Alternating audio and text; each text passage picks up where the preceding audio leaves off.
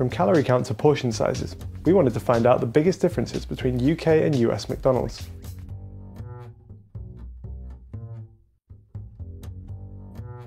This is what a small drink looks like in the UK. This is a US small. This is what a medium drink looks like. This is a US medium. And this is a large.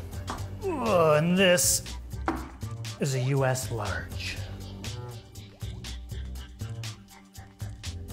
So with our McNuggets in the UK, the default adult sizes on the menu are a box of six, a box of nine, or a share box of 20. Nuggets. You can get a box of four, or you can get a six piece, or 10, 20 for sharing, or ah, 40. And according to the three McDonald's in the area, they don't have 20 or 40 boxes, they just do them in increments of 10. But this is on the menu. In the UK, we've got three sizes of fries. These are our small fries in the paper bag. Here is the small fry. These are our medium fries in the iconic carton. Here is the medium fry. And then these are our large fries. And here is the large fry. So we couldn't find an exact weight measurement for the fries online, so what we're going to do is weigh them ourselves.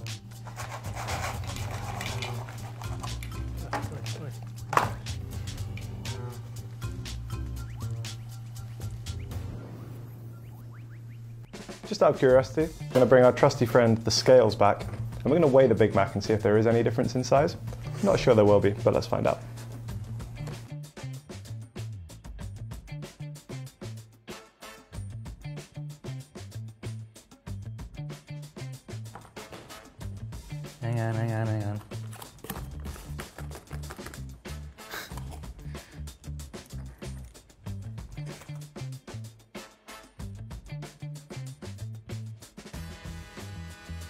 So while McDonald's fries might look and taste pretty similar in the UK and the US, in the UK we only have three ingredients, which is oil, salt, and potatoes.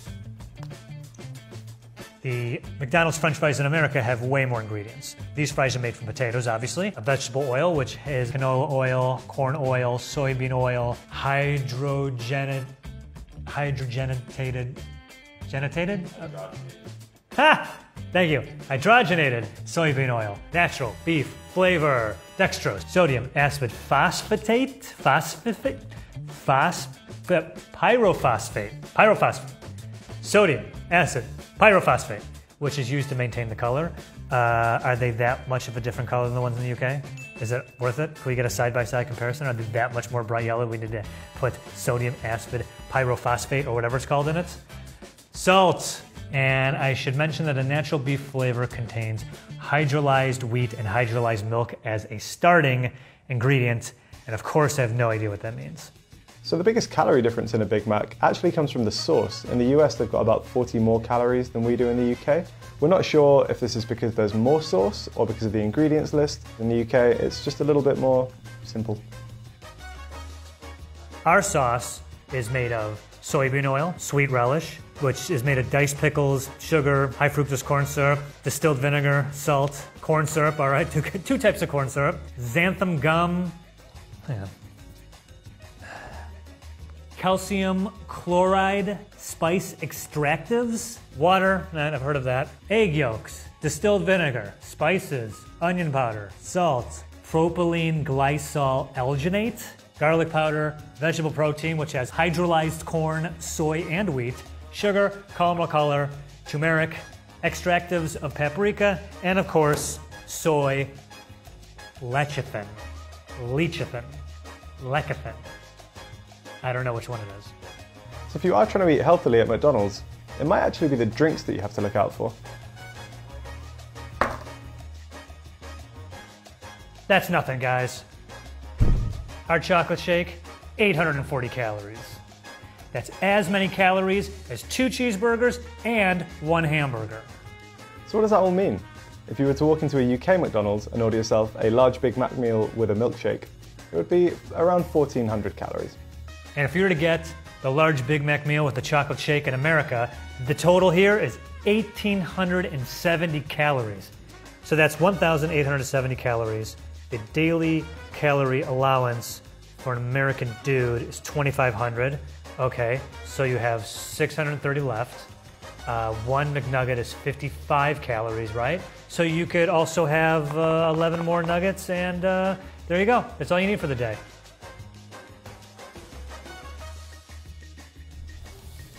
Here's everything you can only get at a UK McDonald's.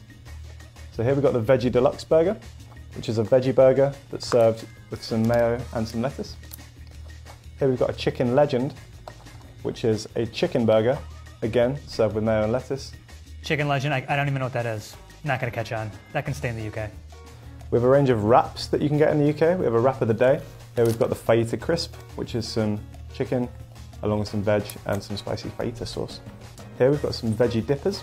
These were actually introduced as part of Veganuary in 2020 in the UK, but they've stuck on the menu. So these are Vegan Society approved, and they're sort of like a fried bean patty sort of thing. Like, pick a more unappetizing thing to get at McDonald's. Veggie dippers. And then finally we've got some mozzarella dippers, which are just kind of mozzarella sticks really. Well, sucks to be in the UK because everything you see right here is USA only, baby. Ha ha! USA only!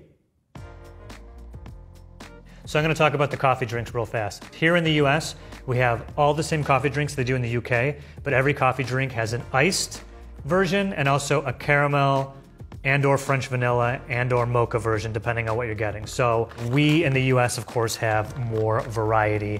Shamrock Shake. The Shamrock Shake is like it's like vanilla and mint shake. Strawberry sundae. This has recently been discontinued in the UK. Sorry guys. Still got in the US. My favorite as a kid. Caramel sundae. Fruit and yogurt parfait. Maybe it's healthy, I have no idea. Probably not. Those were the cold items I wanted to get out of the way as they slowly melt under these lights. Got a lot more to go through. Harry, bear with me here, buddy. Buttermilk, crispy chicken sandwich. Yo, I think this was introduced when the chicken sandwich wars were really heating up when Chick fil A started taking over. Let's see what's under the hood. Look at that. Look at this. Yeah. Quarter pounder with cheese, deluxe. This is your fancy quarter pounder with cheese. This is uh, for uh, Sunday dinner. When you have company over. Ah, there's so much. Sausage breakfast burrito. Even after it's for a while, it's like still like glowing yellow. now these are the buttermilk crispy chicken tenders. These smell amazing. I want to bite into these so bad. I just take a big bite. I want to talk about sauces real quick. Okay, I'm at McDonald's and I go, give me one of everything. I've heard from the I've heard from Harry and the team over at the UK that some of these I don't have, including sweet and sour, honey mustard. What else don't you guys have? I don't think you guys have ranch either or buffalo. I gotta say though, the sauces are everything. We've got a couple of sauces that are kind of unique to the UK as well. We've got a sweet curry dipping sauce, and then we've also got a salsa dip as well, which I didn't know existed until today. Oh yes, donut sticks. These donut sticks also come with a chocolate dipping sauce. Another thing I'm certain they don't have in the UK. Yo!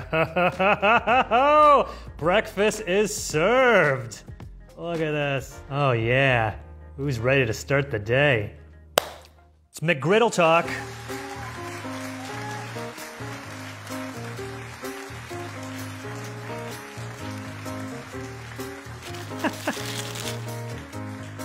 So, for those of you in the UK who don't know what a McGriddle is, uh, the United States McDonald's had this genius idea. What if we took breakfast sandwiches, replaced the buns, and made them pancakes? And somehow injected some sort of syrup flavor into the pancakes. And the McGriddle was born, and I have to say, they're fantastic. This one right here, the bacon, egg, and cheese McGriddle. This is the uh, sausage. Yeah? Hi. Hey. Hey. This is the sausage, egg, and cheese McGriddle. American food engineering at its finest. Look at that. In the UK, you guys call biscuits cookies. Here, no. So in the UK, biscuits are cookies, or what we call cookies. In the US, uh, biscuits are what we call, uh, I don't know what else you can call them. Like, you bake them and they're from the south and they're dry and I don't know what they are.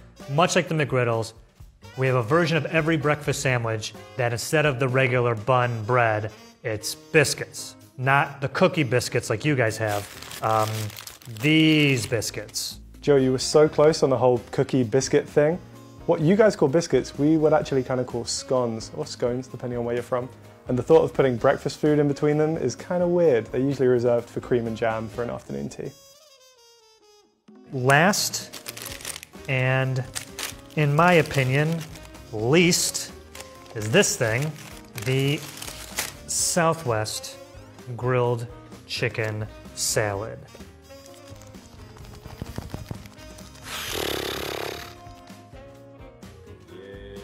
Yeah. Oh,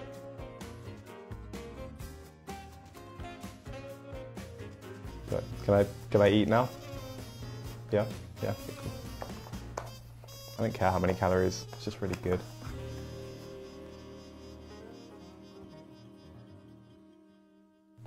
Mm-hmm.